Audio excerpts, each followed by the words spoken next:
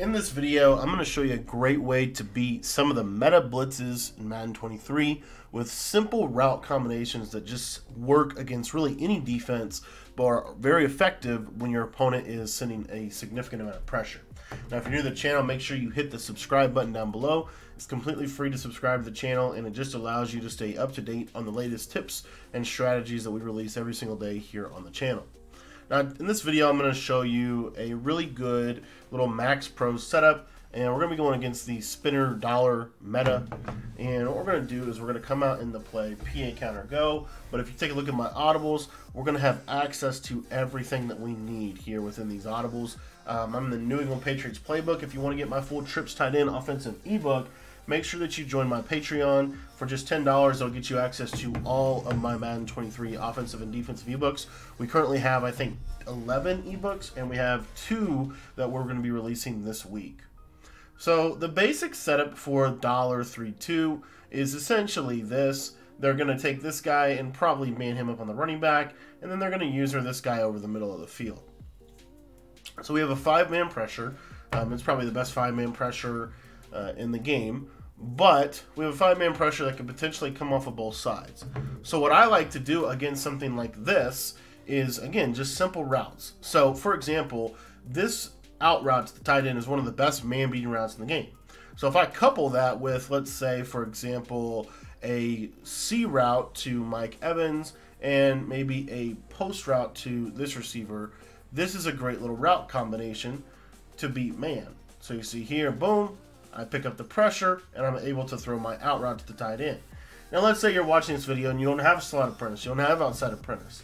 P slot corner is a great play to freestyle out of because it gives you routes that most other plays don't. Okay, so again, um, we're just gonna go ahead and throw some some coverage here, but we've got the base concept for the pressure. And what we're gonna do now is essentially the same thing. The only difference is now we have a corner, a scissors action on the left side, and then what I like to do is basically drag my tight end or leave him on the deep corner if you want. We're going to motion this outside receiver across the formation. We're going to snap the ball right about here. He's going to block, and then you're going to see here that we're going to give our corner route an opportunity to basically cook man-to-man -man coverage, potentially be a one-play touchdown. I want to stress real quickly, the thing with the man meta and the thing with the blitzing meta is two things. Number one, you've got to be a little bit more patient than I think you've been in years past. You can't just bomb and replay this year because the blitz is that good.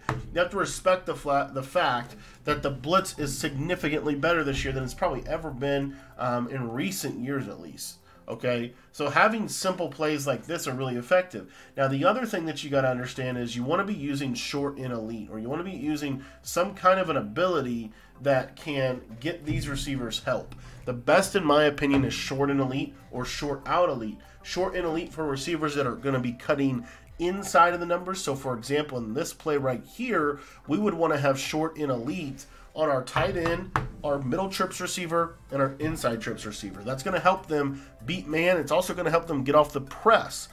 Now, the outside receiver is typically going to be outside of the numbers. It doesn't matter whether we're short side or wide side. He's typically going to be outside the numbers. So we want to make sure that this guy has short out elite. That's going to be very helpful. Now, another ability that I want to just quickly point out that is really good is outside apprentice. The reason outside apprentice is so effective is because the corner route or the C route is probably the best man beating route in the game. So what you're going to see right here is we're going to do a simple route combination like this. We're going to have the C route to Evans. We're going to leverage um, the power of this route to Jones. And then we're going to essentially um, drag our tight end and motion block this receiver. So you see how we're using motion blocking to help pick up these edge blitzes.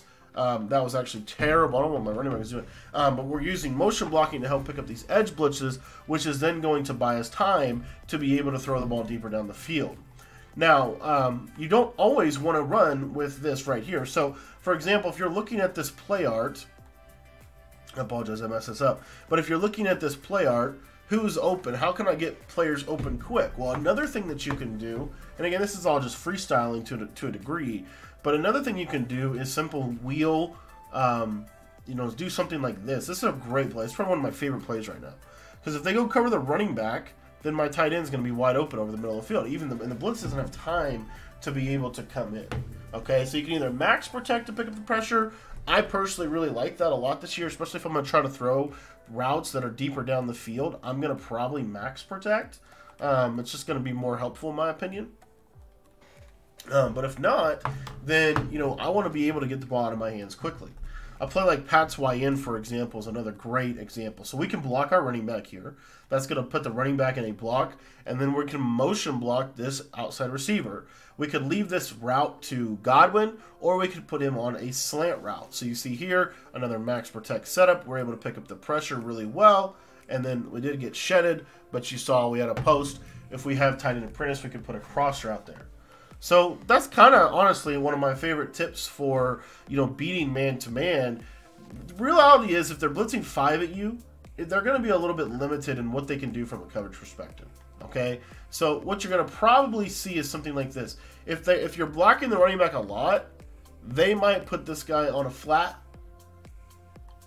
to this outside.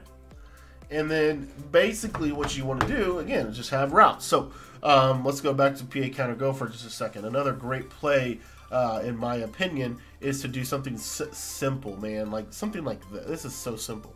But just do like an in route.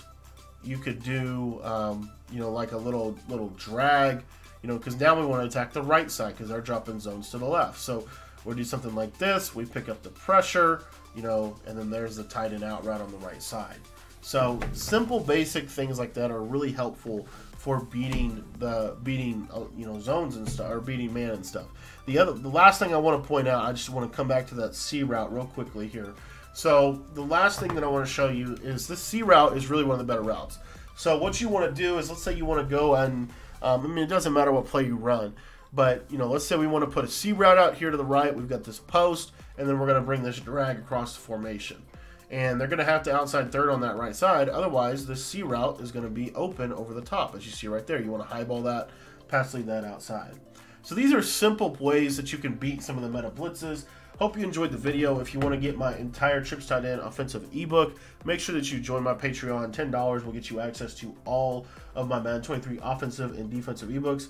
In addition to that, you'll also get access to all the updates to those ebooks as well. Thanks for watching. If you want to sign up for the Patreon, head down to the description of the video and click the link down below.